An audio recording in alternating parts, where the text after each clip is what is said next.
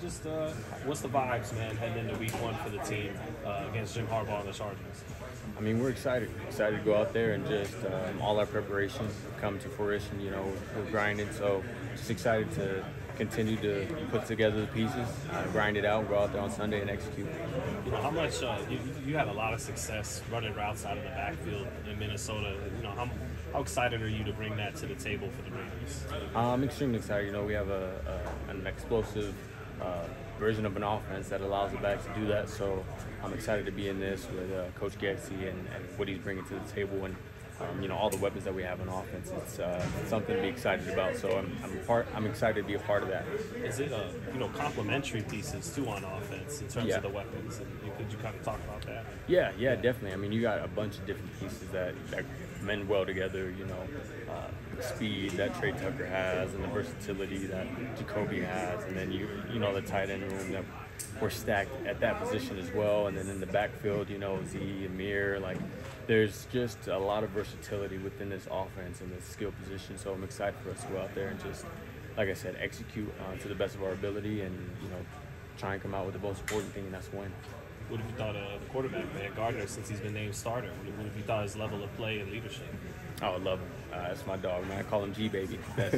he's, uh, yeah, he's he's a one of a kind uh, leader um, when it comes down to just you know his swagger, his personality, and the way that he attacks this thing every day. Um, I'm just excited to have him leading us, um, and Sunday it'll be it'll be a great chance for us to get out there and, and let that chemistry flow on the field. AP put such an emphasis on running the ball uh, against uh, Chargers. Can you talk about that? Yeah, I mean, we want to just make sure that we're running downhill, um, fast and physical. We want to make sure that we establish that, you know, the, the league, the way that it is, you know, to have a, a dominant run game is is something that's going to carry you a long way. Um, so we want to make sure that we're coming out the right way. We have that, and um, we have the guys to do it. We just have to make sure we go out and execute it you weren't part of this team last season, but uh, the Chargers did put a. They stressed that the Raiders gave them an embarrassing loss last season. So, can you talk about that? Um, I mean, for me, it's it's a new new rivalry for me uh, coming over uh, to this conference, uh, this side, this division. But uh, I'm excited to be a part of it. You know, I've seen the history of it. I know it. Uh, I know about it, um, and it's one of those things that you know you you're part of it. You understand it. You get it. You know the teams that you can't, you don't want to lose to. So I'm excited to uh, go out there and, and have the opportunity to make sure we start things off the right way.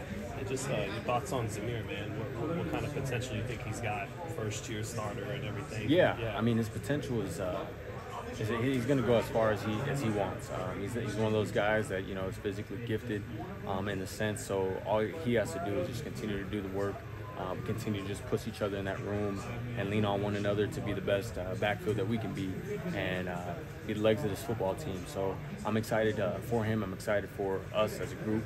I'm excited for this team to go out there on Sunday and just try and put the pieces together and execute and come out on the other side. Who, who would you say is the uh, most disruptive player you guys are going against on the Chargers defense? Uh, I mean, they, they got they have uh, there's a lot of respect for those guys on that side of the ball that we have to watch out for. Of course, Mack and Bosa off the edge. Uh, those are guys that can be uh, disruptive if you let him. So we, we just can't let him. Um, you know, respect to Derwin.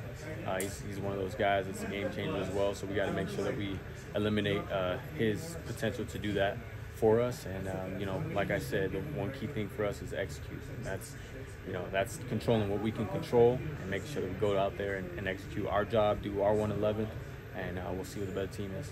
Thanks, Alex. Lastly, for me, who you got next week, Canelo or Edgar Berlanga? uh, I got my, my guy Canelo. Yeah, Team Canelo. Uh, rooting for him. I'm gonna be watching. Got my dog. Shout out uh, Lawrence. Lawrence King. He's on the undercard. Team Canelo. So yeah, rooting for him. Good to know. Yeah. Yes, sir. What's up?